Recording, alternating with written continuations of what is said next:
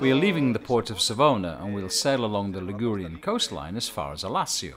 We'll visit the island of Bergeggi, then the port of Finale Ligure, Loano, and then finally the port of Alassio. Quello di Loano. In ultimo quello di Alassio. Immediately out of the port area, we can see the marvellous coast of Albisola, the town famous for its ceramics production. Especially famous is the white blue pottery, the so-called antique Savona, and is still very important today for its notable production. Valerio Paluffo, the historian, explains to us how Savona became a great marine republic, how it succeeded in trading with various countries on the Mediterranean rim, guaranteeing itself wealth and power. Going further back in time, we discover that the Etruscans already traded with Savona and Genoa. paesi del, del, di tutto il bacino del Mediterraneo e questo garantisce la sua ricchezza, la sua potenza. Parlando di Savone, parlando di questa zona e parlando dal punto di vista diciamo più antico, più arcaico, eh, gli Etruschi commerciavano The Etruscan population was organized into tribes before the arrival of the Romans, and they already possessed the spirit of sailors and traders. It is sufficient to consider that they had set up exchanges with the Greek colonies in Marseille, France.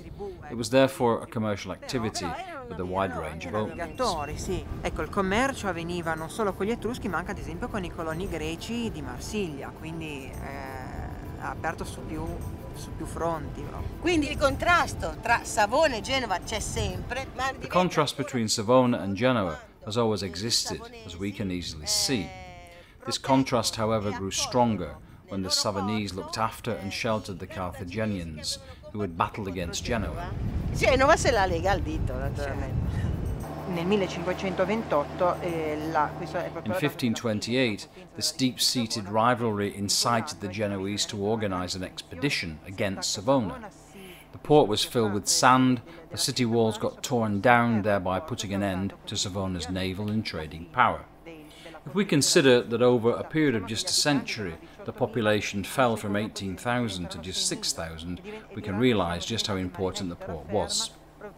From a naval power, Savona turned into an agricultural town.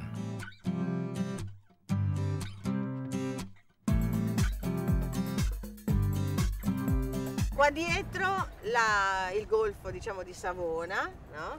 E qua la fortezza. la fortezza del In the background, we can see the Gulf of Savona and the Priamar fortress, a painful reminder in the history of the town. la città lì si trovava la In fact, the town was founded on that particular rock, and the most ancient and wealthiest part of the town's history, including the cathedral, were all located.